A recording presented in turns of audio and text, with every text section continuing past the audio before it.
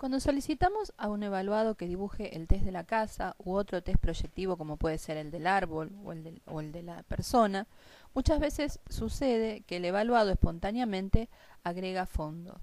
Nosotros siempre en pautas formales sabemos que eh, una de las pautas formales son los detalles. Los detalles que conforman un dibujo son los detalles básicos, que son los que hacen a la buena definición del objeto a graficar. Por ejemplo, en el caso del test de la casa, la presencia de techo, paredes, chimenea, ventanas, puerta. En el caso del test del árbol, por ejemplo, el tronco, la copa, las ramas y el piso. Y así con el resto de los, de los test. Pero también hay detalles complementarios. Los detalles complementarios son aquellos que mejoran la definición del objeto. Por ejemplo, una ventana no es simplemente el, el espacio, el cuadrado, sino también puede ser el agregado de persianas, cortinas o rejas. Esos son detalles complementarios.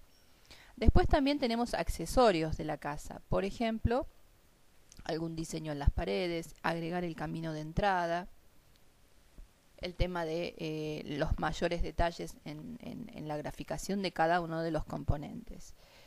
Ahora bien, cuando hablamos de accesorios de fondo, decimos que no son detalles esenciales porque no hacen el objeto que simplemente se trataba en ese caso de graficar una casa, sino también ver qué tipo de accesorios eh, se, se incorporan. En el caso del ejemplo que acompañamos, como siempre, vemos que hay un fondo tipo paisaje. Pero lo más significativo, y quizás esa fue la razón por la cual lo elegimos, es el hecho de que agrega nubes y lluvia elementos que suelen ser esperables y que acompañan, por ejemplo, eh, a la consigna de dibujar una persona bajo la lluvia, pero es infrecuente que aparezca en otros test proyectivos, salvo excepcionalmente en el test del dibujo libre o el test del paisaje. Por lo tanto, el hecho de que se agregue ese tipo de fondo que tiene un valor simbólico en sí mismo es significativo y cuando aparecen estos accesorios de fondo dan cuenta de el traslado, digamos, al espacio de la hoja del papel de un estado anímico particular. Por lo tanto, siempre va a ser bueno analizar en profundidad, bueno, el objeto, en este caso la casa, y ver cómo podríamos, cómo nos ayuda a entender un poco este fondo que aparece. Al observar la casa podemos ver que hay un desequilibrio en altura en cuanto a que es mucho más ancha que alta. Si bien lo esperable en la proporción total es que prevalezca la anchura, no más del doble como en este caso, donde tenemos 5 centímetros de altura y 12 centímetros casi de eh, anchura de casa. Otra cuestión es que faltan como detalles básicos la chimenea y como detalle complementario el humo. La puerta también está como separada, si bien sería como una puerta accesoria, da la sensación de que la casa está por un lado y la puerta de entrada por el otro. La forma de trazado es bastante floja en, su tensión de trazo. Es una puerta estrecha, el picaporte está desplazado al centro.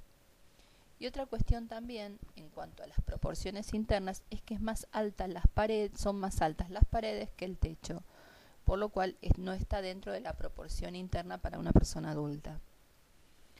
Las características de, esta, de la casa en cuanto a rasgos de personalidad nos hablan de dificultades en las relaciones interpersonales, cierta tendencia al aislamiento, que también lo suma la presencia de cerca, alrededor del árbol, la falta de eh, espontaneidad y bloqueo de lo emocional. El hecho de que aparezcan ventanas es paradójicamente eh, una lectura contradictoria. Por un lado, las ventanas numerosas y muy grandes dan cuenta de, eh, de cierta dependencia o cierta necesidad de contacto, de mirar el afuera pero el hecho de que aparezcan rejas da cuenta de cierta defensividad en, esa comunicación. Pero también, como después lo pueden leer en el material escrito de esta, de esta audioclase, el hecho de que las ventanas aparezcan no necesariamente siempre es dependencia con el ambiente. Piensen que las ventanas son medios de comunicación pasivo, por lo tanto da cuenta de una personalidad introvertida, en donde está más el contacto desde la distancia con el objeto que el contacto más íntimo o más directo con el, con el mismo. La puerta termina un poco de confirmar este, este detalle. ¿Qué podemos pensar entonces del agregado de nubes y de lluvia? lluvia que no llega al piso, por lo tanto tienen cierta cosa de irrealidad. Y también eh, están puestas simétricamente, tenemos dos nubes a la izquierda, dos nubes a la derecha. Esto nos da cuenta de una defensa de tipo obsesivo, una preocupación que la persona trata de controlar y que no emerja ese, monto de ansiedad. Por eso también la lluvia está presente, pero poco intensa. Lo que es muy significativo del estado anímico y psicológico de la persona es el agregado del el árbol. En la presencia de árboles en sí mismo siempre habla de necesidad de apoyo, de sostén, en este caso estaría del lado de la izquierda.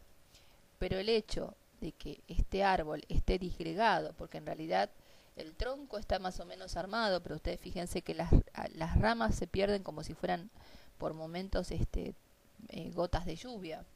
Es un árbol disociado, por lo cual también habla de bastantes este, disociación como mecanismo de defensa, aislamiento, que ya lo habíamos mencionado. Y esta desunión entre las ramas y el tronco da cuenta de eh, la dificultad importante que siente la persona entre lo que piensa lo que desea y la concreción y la comunicación de ese pensamiento. Es decir, hay como mecanismo una disociación entre los componentes racionales y emocionales. El hecho de que aparezca suelo seriado en forma curva, de muy mala tensión, da cuenta también eh, de ciertos rasgos de impulsividad. Al igual que eh, el tejado, que no está armado en forma estructuradas, sino como trazos abiertos hacia arriba, tipo guirnalda, un poco más angulosos algunos, dan cuenta también de estas preocupaciones. El hecho de que la pared sea dominante por sobre el techo también da cuenta de que hay una lectura más concreta de la realidad y con dificultad a veces para poder ver las cosas desde una perspectiva más amplia. Todo esto obviamente es sintomático de probablemente un fondo depresivo que por supuesto después se termina de de armar con el resto de la batería.